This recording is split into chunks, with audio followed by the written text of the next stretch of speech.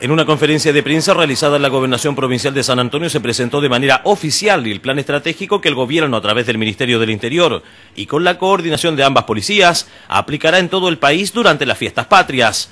La estrategia cobra especial relevancia en nuestra zona ya que se espera que más de un millón de personas ingresen al litoral central durante los días festivos.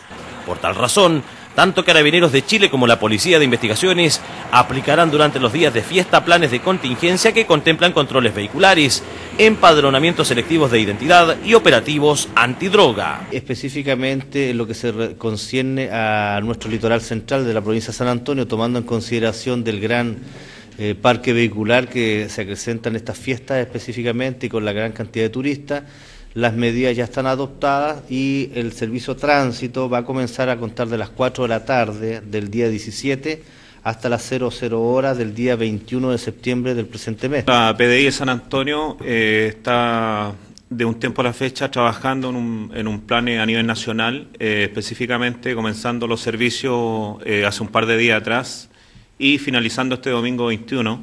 Y espero que la ciudadanía, el llamado que hace la PDI San Antonio es que eh, la ciudadanía tenga una cooperación con, con, las instituciones que estamos participando en esto. Para las autoridades políticas y administrativas de la zona es de suma importancia que los propios ciudadanos se hagan cargo de su seguridad, que disfruten en familia y que durante los días de fiesta estén muy atentos a las condiciones de tránsito.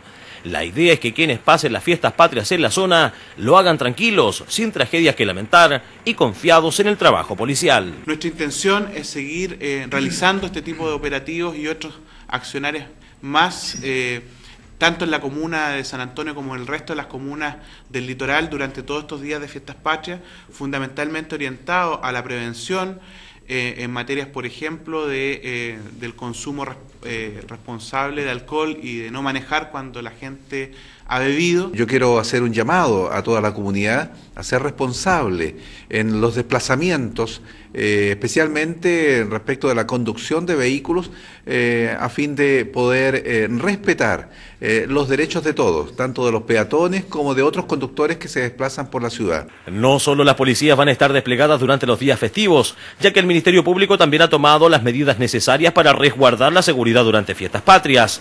En ese sentido, la Fiscalía hizo un llamado a la ciudadanía a confiar en el trabajo de los fiscales y a denunciar eventuales focos delictivos. La Fiscalía tiene un plan de contingencia para este fin de semana consistente ¿no es cierto? en labores preventivas, controles vehiculares habituales.